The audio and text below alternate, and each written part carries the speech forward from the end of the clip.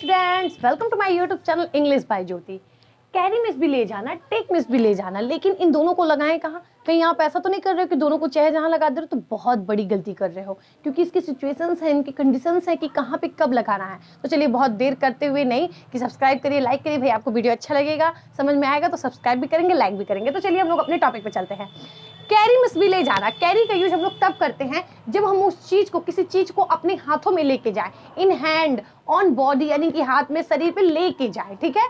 जैसे देखिए, लिख देते हूँ मैं। कैरी का यूज़ हम लोग तब करेंगे जब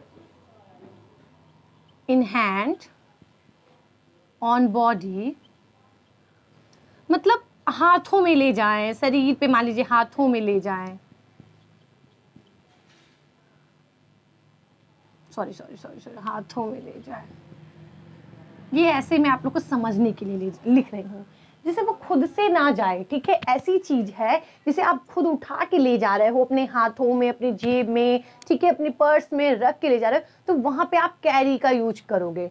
ठीक है? जैसे, मान लीजिए आपके पास आईफोन है, और नहीं है, भगवान करे जल्दी से आ जाए। तो मान लीजिए आईफोन है तो आप कहेंगे कि घर में चल रहा है कि भाई हम लोग मॉल चलेंगे। तो आप कहेंगे ऐसे, भाई, कि मैं तो मॉल में अपनी मोबाइल लेके जाऊँगा, ठीक है? तो लेके जाऊँगा। I will carry I will carry the iPhone in mall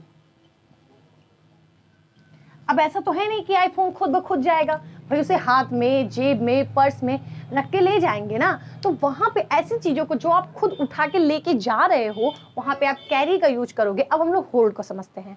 hold में है कि गो बाई इट ओन वो खुद से जाए, ठीक है? आपको ले नहीं जाना मान लीजिए उसी मॉल की कंडीशन देखते हैं। मान लीजिए घर में आपका फ्रेंड है तो कैसा है? मैं तुम्हें मॉल लेके जाऊँगा। अब उसे गोद उठा के तो लेके जाएँगे नहीं। खुद जाएगा ना? तो अब देखिए।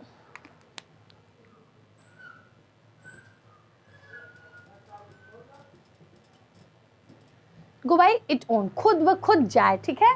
जैसे, गोदी, अब गोदी लेके जाएगा नहीं चलो मेरे बाबू। कोई बात नहीं, आजकल के बच्चे अपने बाबू को उठा ले जाएँगे गोदी में ही। गो बाई इट ऑन अब जैसे मान लीजिए कि आई वहीं पे अपने दोस्त को कह रहा है कि, दोस्त कह रहा है, नहीं भाई, मैं नहीं जा पाऊँगा, मैं नहीं जाऊँगा। मॉल, तुम जाओ। तो कह नहीं मैं ले जाऊँगा तुम्हें, मैं तुम्हें मॉल ले जाऊँगा। अब देखिए आई विल अब कैरी थोड़ी ना कैरी मतलब हो गया ढो के ले जाना, बोरम भर के। तो I will take you to the mall